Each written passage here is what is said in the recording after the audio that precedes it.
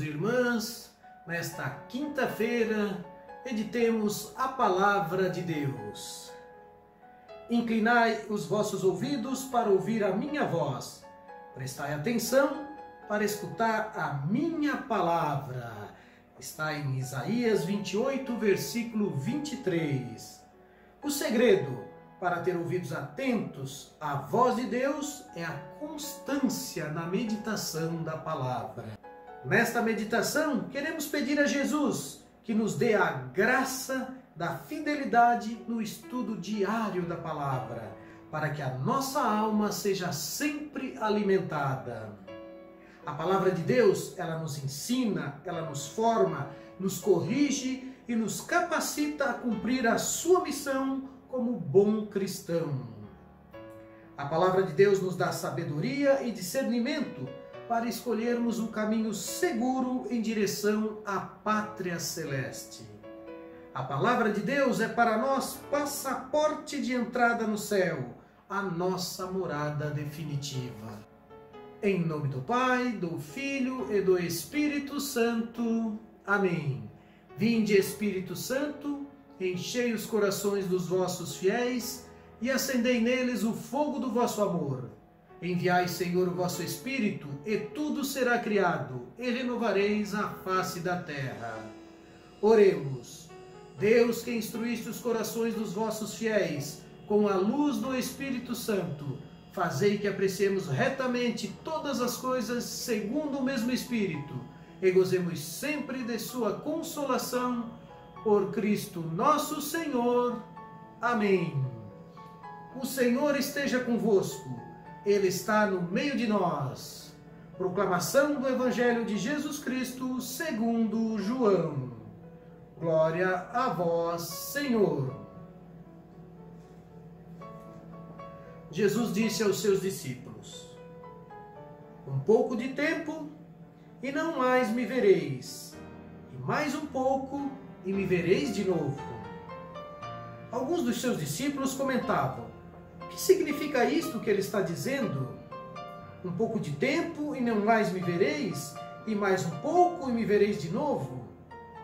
E eu vou para junto do Pai?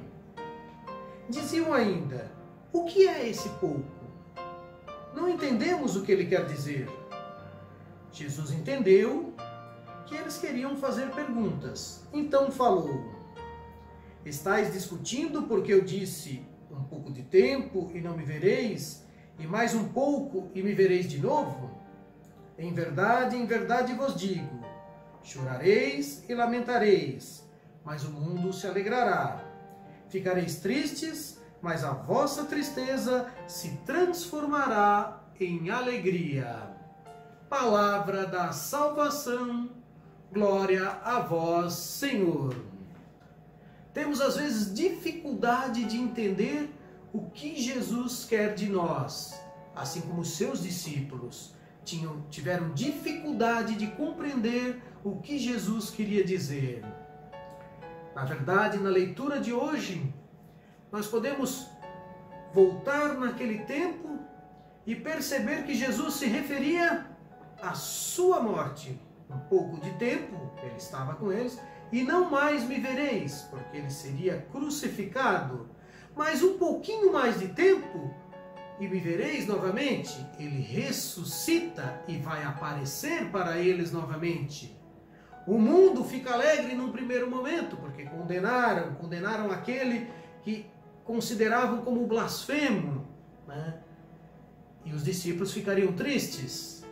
Mas depois quando Jesus ressuscita, os discípulos voltam à alegria porque Jesus está com eles. Se nós nos reportarmos para o tempo de Pentecostes que está se aproximando, podemos dizer: um pouco de tempo me vereis, um pouco mais de tempo não me vereis. Não é? Passado mais um pouquinho de tempo, me vereis novamente, se alegrareis comigo, ou seja, as, as várias formas de Jesus se manifestar para nós.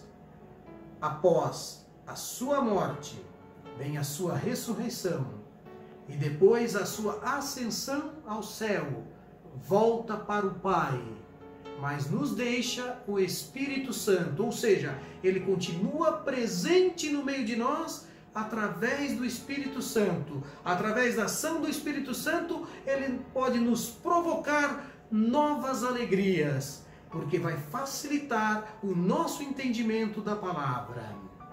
É preciso, como a gente disse, meditar diariamente esta palavra. É preciso se aprofundar na palavra de Deus para que ela comece a fazer sentido no nosso coração e nas nossas vidas. Jesus, em vários momentos, esteve com os seus discípulos, esteve neste mundo e hoje permanece com cada um de nós através da presença viva do Espírito Santo naqueles corações e mentes que se abrem para Deus, naqueles corações e mentes que se abrem para a palavra de Deus. Louvado seja nosso Senhor Jesus Cristo, para sempre seja louvado. Peçamos agora as bênçãos para a sua família, para todos os doentes, para todos os profissionais que continuam trabalhando mesmo neste ritmo de pandemia que vai assolando o mundo inteiro. O Senhor esteja convosco, Ele está no meio de nós.